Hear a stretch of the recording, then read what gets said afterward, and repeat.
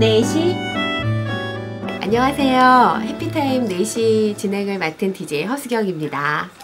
어, 4시를 해피하게, 해피한 시간으로 만들어드리는 방송이에요. 음. 4시면 이제 좀 지칠 수도 있고, 또 어떤 분은 그날 이제 근무가 칼퇴근이냐, 칼퇴냐, 야근이냐 결정되는 시간이기도 하다고. 네.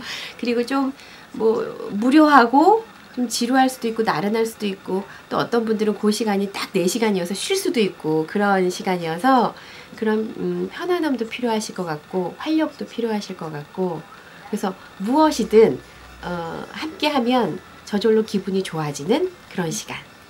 어, 사실 해피타임 4시는 그렇게 어, 대단한 어, 프로그램, 그러니까 그 어떤 코너가 없다는 게 장점이에요. 음.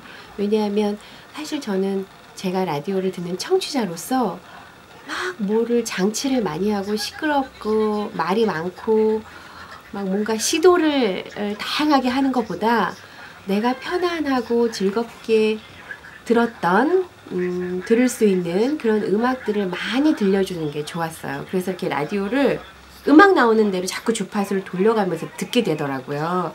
그래서 힘을 뺀 방송.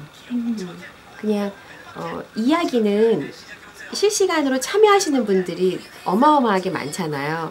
그 안에도 충분히 좋은 이야기가 있기 때문에 다른 이야기를 지어낼 게 아니라 여러분이 주시는 그냥 삶의 이야기를 그대로 전달해드리고 음악은 우리가 함께 공감하고 공유했던 음악들을 들려드리는 거. 그게 가장 어, 자랑하고 싶은 코너? 뭐 라디오 요즘에는 이제 어, 워낙 참여하실 수 있는 방법이 많잖아요. 뭐 문자도 되고 무슨 뭐 카카오톡 뭐 콩 게시판 여러 가지 있잖아요. 근데 그런 소통의 방법이 많아서 소통의 양이 많다고 좋은 거는 아니라고 생각해요. 저는 어떤 의미에서 소통을 생각하고 또 여러분께 원하냐 하면 서로 알아야 진짜 말이 통하는 거잖아요. 아무리 많은 이야기를 해도 서로를 모르면 그건 소통이 아니라 그냥 말을 한 거죠. 시간을 보낸 거죠.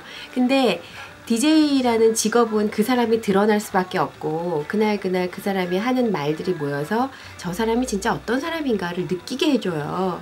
그거를 뭐 짧은 시간 안에는 지어내서 포장해서 할 수 있다 손 쳐도 긴 시간 함께하면 드러나요. 그래서 청취자분들도 허수경이라는 사람을 방송인 허수경이 아니라 내가 아는 허수경.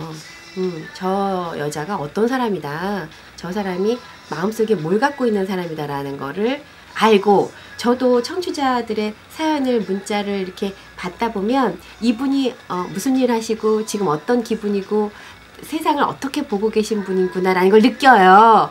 서로 아는 사이가 되는 거죠. 그러면 말하지 않아도 소통이 되는 거예요.